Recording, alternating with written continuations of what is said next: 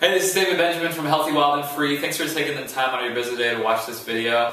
Today I'm going to talk about three reasons why I believe you should be eating sea vegetables and try to include them in your diet on a daily basis or at least a few times a week.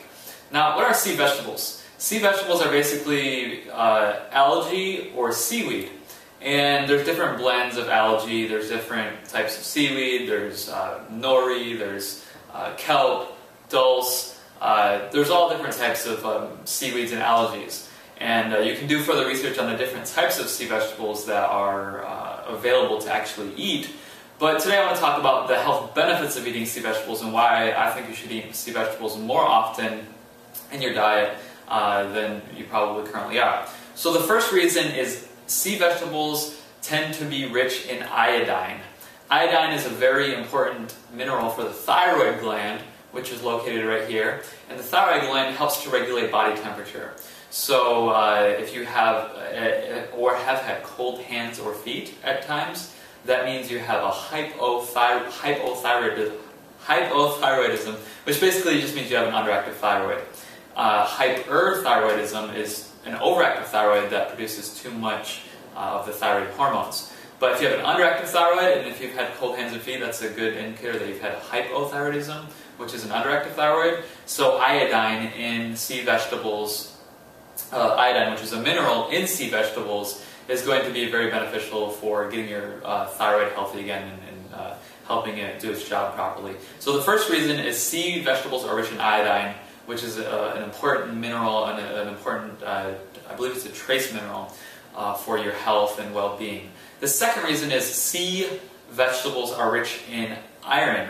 Iron is mostly, uh, most people get iron from meat sources, so, uh, you know, uh, beef and things like that. Um, but if, you're, if you don't eat a lot of meat like me, you can get your iron through sea vegetables, which is going to help um, keep your blood healthy and uh, with uh, red blood cells. And uh, when paired with, I forget how to pronounce it, but the hemoglobin molecule, something, He, I don't know how to pronounce it, something molecule, when iron's paired with that molecule, it helps to oxygenate um, the, the red blood cells and oxygenate your body, so that's beneficial too. And just keeping your blood healthy and, and, and purifying that kind of thing.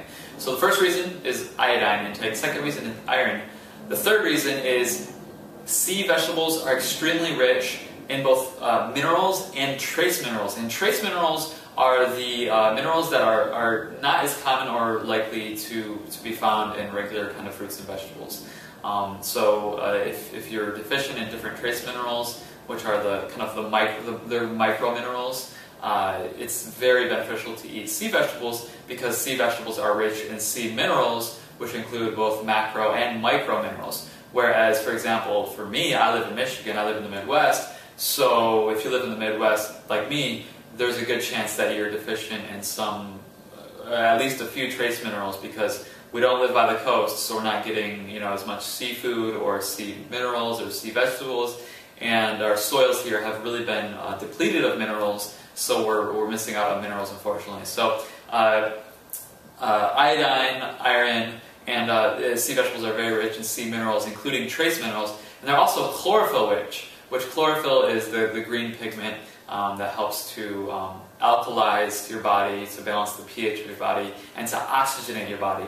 So it's very beneficial to get sea minerals to alkalize and, and oxygenate as well. And I'll just give you another reason since I'm already making this video. Another reason to include uh, well, a few more reasons I could keep going. another reason uh, to include sea vegetables in your diet is because uh, the, the mineral content within sea vegetables uh, is, is beneficial for detoxifying heavy metals out of the body.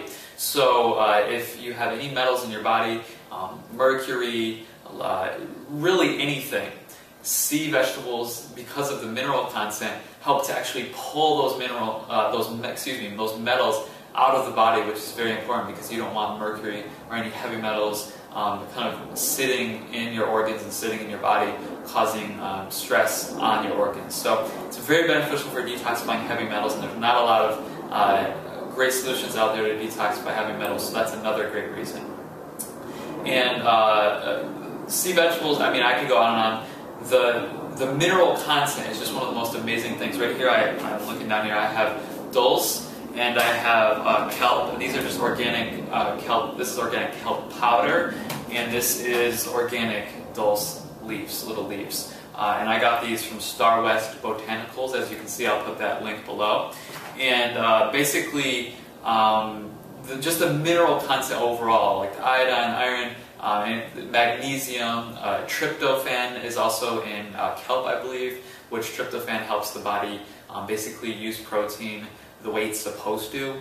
Uh, so it's, it's, very important for um, just using protein properly as opposed to using protein improperly within within your digestive system and, metabolism and whatnot. The great thing also about sea, sea vegetables is because they're so mineral, mineral and chlorophyll rich and alkalizing, uh, they're great for the digestive system. They are just amazing for the digestive system. I mean, if you think about it too, if you look at fish, for example, and this is just kind of like, you know, when, when they say uh, follow the money trail, let's follow the food trail for a minute. If you look at fish, fish eat sea vegetables, right? They're eating um, uh, different, you know, uh, sea vegetables, algae, um, seaweeds, and things like that.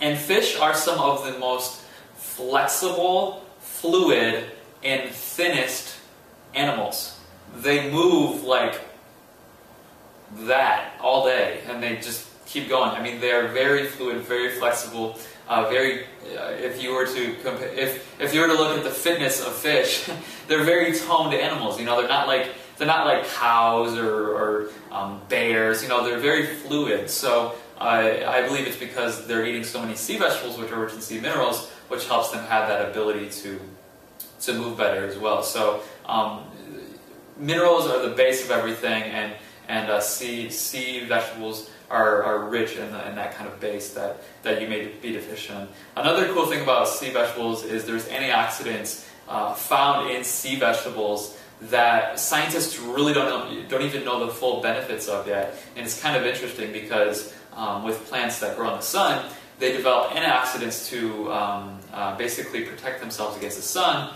We eat those antioxidants and receive those benefits. But some of the sea vegetables, uh, uh, you know, that they they're deficient of those antioxidants, or they or they really just contain other antioxidants because they're in a different environment. They're in the they're in the salt water. They're in the you know just sea mineral water basically, and the ocean, and they're receiving sunlight through the water and through the minerals. So it's produ- I think that's producing a different type of antioxidant, which benefits us in ways we don't even know yet. So, uh, but re- really alone for the for the getting your iodine in, uh, for the iron for your blood, for the chlorophyll, the alkalizing, uh, and then the trace minerals. That is definitely plenty of reasons to start eating more kelp, more dulse, more seaweed, more algae, and things like that. And um, these are all organic, certified organic, and um, even certified kosher, which doesn't really mean anything to me, but certified organic. That's what I want. So um, they're from Starwest Botanicals. I'll put the link for this below, and I'll also put the uh, more information on kelp and dulse uh, in the article below. So make sure to check out everything below, and you can and you can grab these and, and learn more about that. So. Thanks a lot for your time. Thanks for watching the video. This is once again David Benjamin from HealthyWildAndFree.com. Please like this video, leave your comments below, uh, hit like, favorite, comment, share, subscribe, and I will see you in the next video. Take care and have an awesome rest of the day. Bye.